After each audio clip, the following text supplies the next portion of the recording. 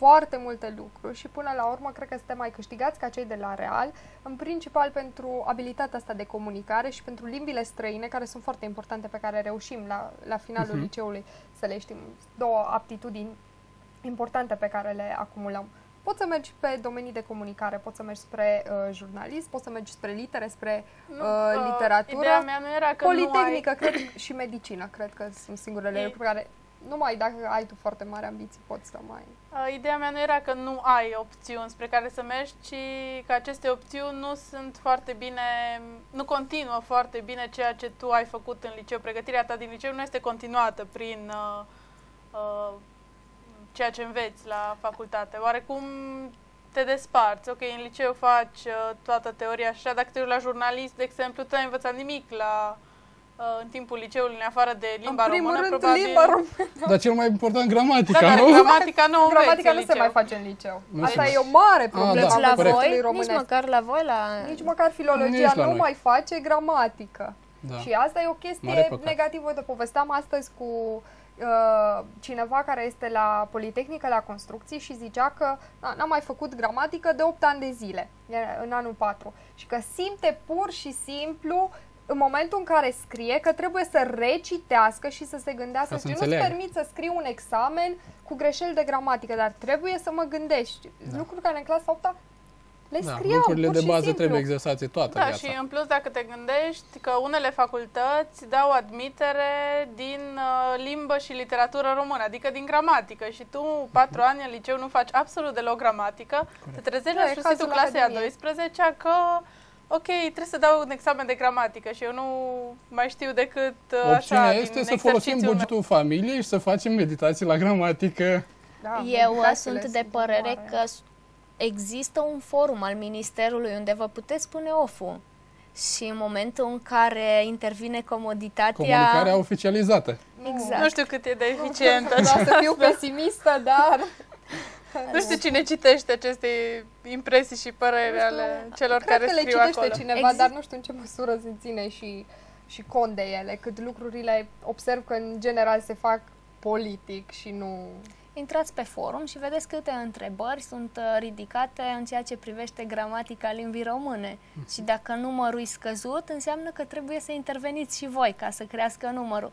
Pentru că în momentul în care se trezesc 2-3, este o, o întrebare inutilă, nu atrage atenția. În momentul în care explodează cu un șir de întrebări pe aceeași idee, se ridică un semn de întrebare și acolo mai sus, pentru că în momentul în care nu există cerere, nu există ofertă. De ce Absolut. n-ar putea să facă cererea asta profesori de română, de exemplu, care mi se par mult mai îndreptățiți să o facă decât Uite, noi. le lansăm întrebarea la 0263 231 563. Poate se uită vreun profesor de limba și literatura română și Ei- intră în dialog cu noi să ne spună Ei se luptă cu lucrul adevărat. acesta, cu elevii care nu mai știu să scrie și să vorbească bine în limba română. Ce ar putea să gândească lucrul acesta. Dar apropo cu mai mare de putere. Uh, titlul emisiunii de astăzi, fa- examenul factor de stres sau factor evolutiv, eu am observat că am discutat până acum doar de examen în sensul organizatoric scolastic al vieții. Dar examen poate să fie și la o întâlnire sau când te duci la un, un interviu. exact. Ce faci? Te duci stresat? Sau dacă ești pregătit dinainte, poți să evoluezi într-o direcție sau alta. cum îți Exact. descoperi. Examenul este o situație. Poate fi o situație, într-adevăr, o situație a vieții care îți lansează o șansă și în momentul în care ești deschis să primești acea șansă, uh, te pregătești dinainte. Trebuie să, înainte de toate, trebuie să-ți cunoști uh, temperamentul, după aceea ținuta, că în momentul în care te prezinți uh, la un interviu, Da. știi ce lansează interviul respectiv, pe ce domeniu te duci. Nu te poți duce sport când uh, își lansează o anumită pretenție a ținutei. Și contează foarte mult modul în care intri în dialog cu persoana din fața ta. Sunt o felul de întrebări capcană, dacă ești uh, furat de emoții, riști să te dezvălui prin simpla atitudine. Și atunci, într-adevăr, examenul te disciplinează în momentul în care ești conștient de el. Poți să ai eșec, dar în momentul în care ai eșec, îți dai seama că ai făcut uh, un foarte mare pas spre tine. Că nu Cred tot ceea că- ce uh, creează ascensiune exterioară, neapărat creează și o ascensiune interioară. De regulă, cred că examenele de genul acesta, interviuri sau, mă rog, alt fel de examene ale vieții sunt un factor evolutiv în măsura în care uh, sunt două, trei eșecuri. Doar atunci, pentru că Atunci efectiv, înveți. efectiv nu găsești un manual printre Bineînțeles. manualele de școală care să te învețe. Cât despre cum să te comporți la un interviu, cred că ar trebui să te învețe la școală. Cred că e un lucru Da. pe care trebuie E să-l ceva știi foarte când, des întâlnit și merită o trebuie să pregătire știi când, realabilă. când ești din liceu, ai 18 ani, teoretic ai posibilitatea să aplici pentru un job undeva, trebuie să știi cum să te comporți la, la un interviu. Pentru că E poți fi adevărat. foarte bine pregătit și să Întotdeauna să dai greș, nu știu, pentru simplu fapt că De la nu prima știi că impresie. în momentul în care ai intrat trebuie să te apropii spre birou și să dai mâna cu persoana respectivă. E o chestie care nu o știi, dar dacă nu faci, ai picat din start. adevărat. Și atunci valoarea rămâne nedescoperită sau nefructificată. Exact. Deci ceea ce am pățit eu sau nu, eu neapărat personal, mi-au povestit prieteni și colegi că au fost puși în situația de a da un interviu pentru un job, uh, în cazul nostru job de vară sau ceva așa pe termen scurt și știau ei de la școală, în special uh, ce au învățat la limbile străine, să scrie un, o scrisoare de aplicație, așa numită Da. scrisoare de aplicație.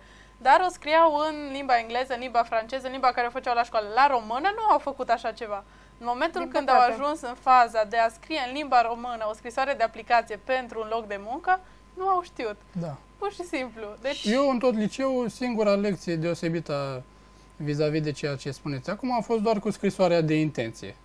Într-o oră de română am avut de pregătit o Este- scrisoare de intenție. Este Doar în atât, atât am curriculă. învățat. Am impresia că în clasa 12 o să fii în clasa 12 și o să vezi.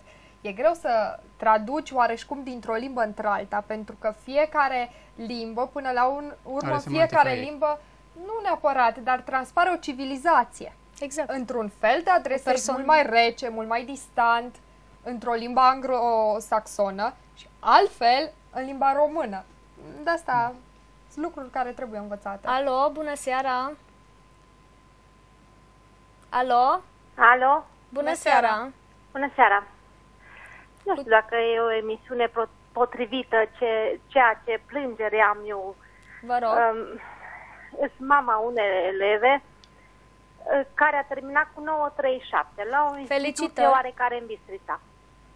Și 9 la matematică, uh, media spun. Da, da. Da.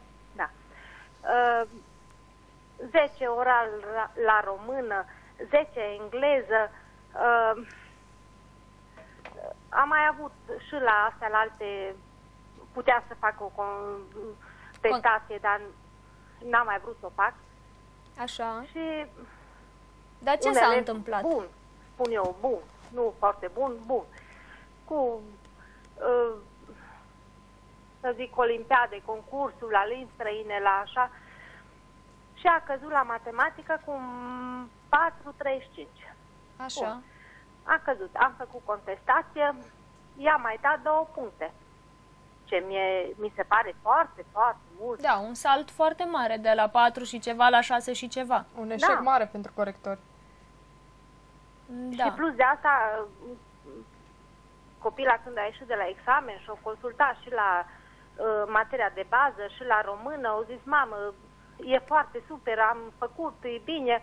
Uh, la matematică mai, o zis, cel puțin de șase, la ce m eu, eu fost ce mai frică, deci șase iau, îl trec, restul de la 9 în sus, bun. La istorie când a ieșit, în schimb, a zis, mami, mai mult de șapte, nu știu dacă iau. Da, îl trec cu șapte și. Culmea că acolo a luat 9,50 la istorie.